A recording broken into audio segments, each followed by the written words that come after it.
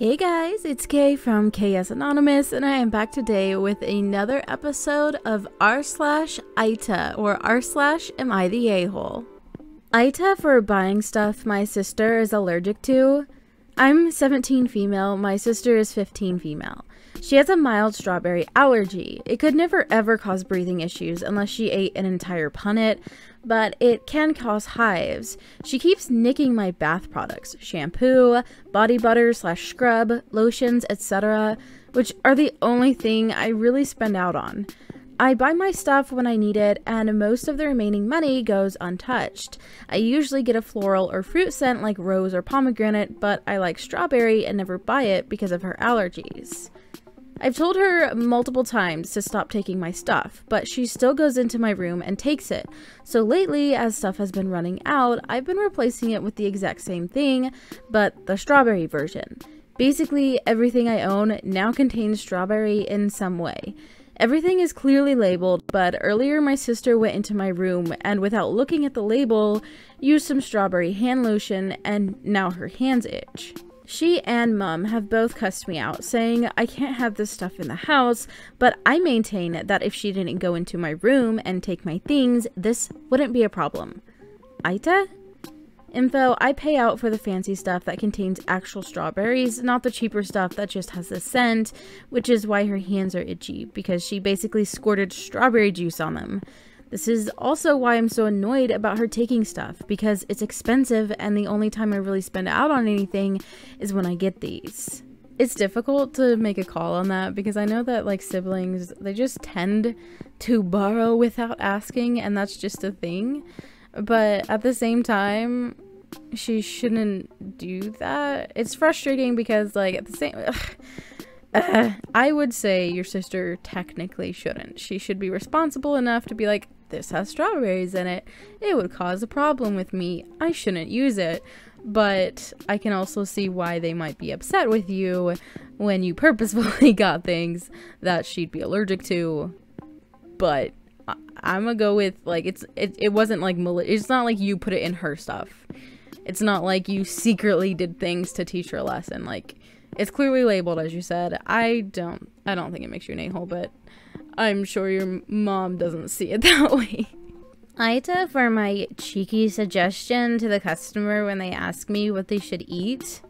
I work in a Pizza Hut, and my manager just told me that somebody wrote a complaint to the customer service about me. It was a customer who called yesterday. So I received this call about 11 a.m. It was a woman with a very raspy voice. The conversation, according to my memory, went like this Hello, Pizza Hut delivery. May I take your order, please? I have a fever. Uh, are you alright, ma'am? and I've been coughing. I had a crappy day, too. And went on ranting about something I couldn't remember. So, what would you like to order? I am very sick, okay? What should I eat? You tell me. I was dumbfounded. Um, medicine maybe? Panadol? I, don't know. Maybe a doctor can answer that? I didn't call! Effing Pizza Hut! Delivery for Panadol! She said a bunch of things I didn't quite catch before hanging up. I thought it was a prank call of sorts, never knew that the woman would write a complaint letter about me. My manager said I'm not in trouble, but should not have said what I said. That was cheeky and rude. Aita? Who calls and doesn't start with what they want and instead just tells them, like, I'm sick, these are my symptoms, and then asks for what you should eat? Like, at the. Maybe in hindsight, you could have said, you know, I can't, I don't really know how to give you advice on that but I don't know if there was a right answer. I don't know why there's a lady calling in uh, basically telling her symptoms to the pizza person. I okay. Aita for apparently influencing my best buddy to pursue a divorce from his wife through some offhanded comments I made. My work best friend found out that his wife had been cheating on him with a married douchebag for 9 consecutive months of 2019. My friend's mood was shot, he looked absolutely crushed, and seemed to be floating through his life. Nothing I said or did with him could cheer him up, no matter how much I tried to help him. He was even weeping publicly at some points. It was pretty terrible to watch. Starting of this year, apparently, his wife left affair fog land, started focusing on reconciliation with my best friend, and the mood of my friend seemed to lift, though he did confide to me that he still was struggling with dealing with it all. I recommended him to join the Surviving Infidelity subreddit, read some books, get an individual counselor, the usual advice in dealing with betrayal BS. And he did all that, except he seemed to still be depressed. He told me that his wife seemed to be genuinely remorseful and even upped the ante with regards to certain aspects of their romance slash relationship, but he still felt at odds with the whole idea of reconciliation. Maybe I should have shut up and not spoke here, but I didn't. I told him that his wife may be trying to re-earn his love and fix him all up, but there comes a point where you just can't go on any further with a person anymore, and that there are plenty of women in the world who wouldn't have even texted another man flirtatiously while in a relationship, let alone cheat. I told him life is short, he has no children, and maybe he needed to see if keeping his wife around was going to benefit him and his health in the long run. I said he needed to decide whether he'd have the patience to constantly keep tabs on whether his wife could be faithful for another 40 years of marriage. And then I left it at that. We never spoke of the topic again, and his mood seemed to improve drastically the start of February this year. Well, I just found out this week that this whole time my friend had been pursuing a divorce. Surprisingly, his mood had been great, even though he's going through something in divorce I wouldn't wish on anybody. He credits me for inspiring him to live life to its fullest again, and that he wasn't going to drag himself down with a cheater and a liar anyway. I'm telling you, you'd think he won the lottery with how he walked. It's like a weight was lifted off of him. I was happy for him, man. He's my best friend but his parents, whom I truly don't gel well with, ring me up. How they got my number? My dang best buddy gave it to them, asking them to ask me why my buddy and his wife were divorcing. His parents were furious. They were angry that my friend seems nonchalant about the whole experience and are upset about the mental health of the wife, who is apparently crying herself to sleep every night over this. Also, the wife's side of the family, sisters and parents, are crap talking me for the part I played in my friend's decision to divorce her. I influenced Buddy, apparently. Aita? Are you kidding me? Oh my god. First of all, uh, like. First of all, he is responsible for his own actions. And if if you giving your thoughts about something prompted him to do what he did, that's his own problem. It's not like you were in his ear constantly like when are you to get rid of that lady like it's not like that. However, I wonder about the maturity of your friend because I don't know any mature adult who would tell their parents to call their friend and have them explain why they made a decision. That is dumb. That is really dumb. I, mm, I'm sorry, but your your buddy might be the a hole a little bit. Obviously, the wife is an a hole for cheating on him, especially that long. Like, it's hard for me to accept the idea like she's remorseful when she was cheating that long. Um, but you know what? It's their personal business. But your buddy, um, he needs to grow up a little bit. Aita for not allowing my father in at my sister's wedding. He showed up to the wedding on the basis of a fake invite. My father, who now lives in another continent, left our family for his current wife when I was 13 and my older sister was 17. My sister never forgave him, and the last time she saw him was 12 years ago in court. She got married recently, and I was in charge of the whole affair. It was a pretty big wedding, as my brother in law comes from a prominent political family. On the day of the wedding, my father showed up to her wedding venue, unannounced and uninvited, wife and three little kids in tow, who I assume were my biological half siblings. As soon as I was informed about his arrival, I dashed to the entrance where he stood waiting and tried to deal with the situation without anyone knowing. I didn't want my sister and mother to know about it as they were in a good mood and I didn't want to ruin that. I also had to attend to some very important guests and wanted to fix the situation quickly. It turned out that my sister's former best friend slash step cousin, Dorothy, contacted our father and gave him a fake story about how my sister really wanted him back in her life, and that the only reason she didn't send him an official invite was because of our mother. Apparently, he was told that my sister asked Dorothy to send the invite on her behalf. It was an awkward situation. I had to explain that Dorothy and my sister had a huge fight last month, and my sister ended up severing all his ties with her. It finally dawned on him that he was used as a pawn to ruin my sister's wedding. He was heartbroken, but insisted I allow him into a distant, secluded spot to at least view the ceremony from a distance.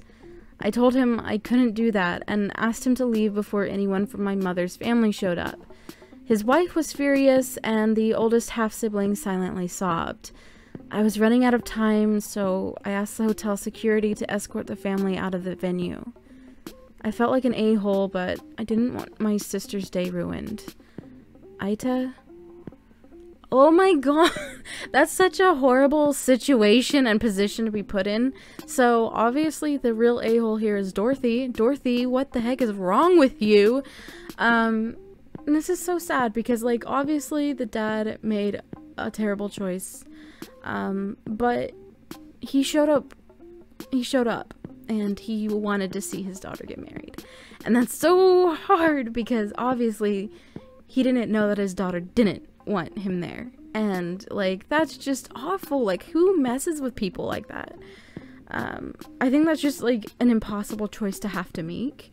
And in this situation, you did the best you could. I it's better than having a whole scene caused just to make him feel a little better and then probably would have ended poorly anyway because she probably would have been like why are you here? and like freaking out and being upset. So i mean probably that decision made the the least people upset. Um, but thanks dorothy for like messing with a bunch of people's emotions. That's horrible Aita for publicly rebuking a cousin for following tradition when it benefits her, but opting out when it doesn't. A long-standing tradition in my family is the giving of lucky money on Vietnamese New Year. The tradition involves married members of the family gifting unmarried members lucky money, as a symbolic passing of good luck from one generation to the next. The tradition is more about the act itself rather than the money. People are only expected to give what they can. My cousins and I have benefited greatly from this tradition. To put it in perspective, I am 26 and have accumulated approximately $10,000 over the years. Fiona, my 31 year old cousin, would have collected at least as much, and certainly much more. Fiona's partner has also received lucky money since dating her. Last year, Fiona married her partner, and I entered a de facto marriage with mine which means that for the first time, Fiona and I will be giving, instead of receiving, money this Vietnamese New Year. Or at least that's what the expectation is. On Vietnamese New Year, Fiona and her husband stated that they are no longer participating in this tradition. When other family members asked why they're opting out, the husband explained that they simply don't believe in it. I retorted with a, What does that even mean? Fiona's husband responded with some spiel about only trusting in facts and logic. Visibly scoffing, I rebutted, Must be some convenient facts and logic for you to only opt out now, and not last year or any of the years before that. Fortunately, a more mature cousin than I intervened and quelled the adversity before it escalated. That all happened a month ago. I am cognizant that my actions weren't the most pleasant, but given the context, I felt that it was not only benign, but that it was also justified. Of course, I'm aware that I'm not exactly free from bias here. So, Aita? No. Yo, I don't believe in that when I'm the one who has to give them money. I'm okay with benefiting thousands of dollars, but now now I don't believe yeah, that's that's BS. That's such BS. Now, these next two stories were sent to my email to be shared. There are going to be some words substituted uh, for reasons. I live in Italy, and that's why my English is not exceptional. As you know, my country suffers greatly from the virus. Many have lost their lives, including my mother. My daughter is incredibly terrified of the whole thing, usually worries about things because of her Asperger's. We took a walk in the countryside to make her feel better. We didn't think there was anyone there. There was a group of bad boys who laughed at her because of her mask. The leader approaches her and pulls down her mask and coughs in her face, saying, Ew, germs! Then the group proceeds toward her and sings, Corona, Corona, you'll find yourself in a coffin!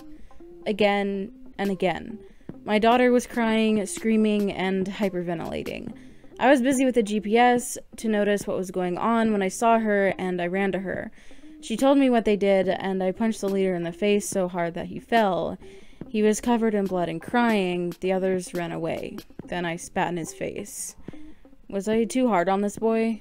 Now, I gave my personal opinion in the responding email, but I'm sharing it for you all to give yours, so be sure to comment what you think. Wow, this is such a weight off of my mind.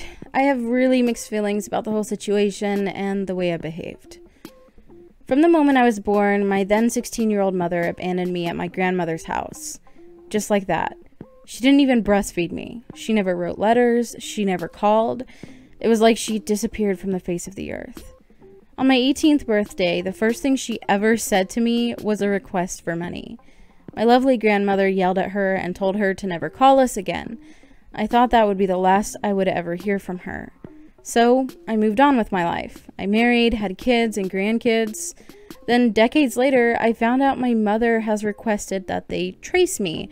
This was about a year ago. She gave them my name and eventually they found me. At first, I turned down visiting her, but then deep down, I was like, well, she's my mother. I have to visit her. When I saw her, she didn't even apologize for the abandonment. She just begged me to take her home with me and care for her. I was really insulted. She was like, I'm your mother. Children have to care for their parents when they get older. I told her that I would think about it and that I would like her to meet my children and grandchildren. When I brought my offspring to meet her, she didn't even look at them. I even put the toddler on her lap and she shoved him off and made him cry. I was so angry. I asked my daughters and son in law to take the kids outside so I can talk to her. She was like, Are you going to take me home now? And I said no. She was actually confused as to why I wouldn't do that.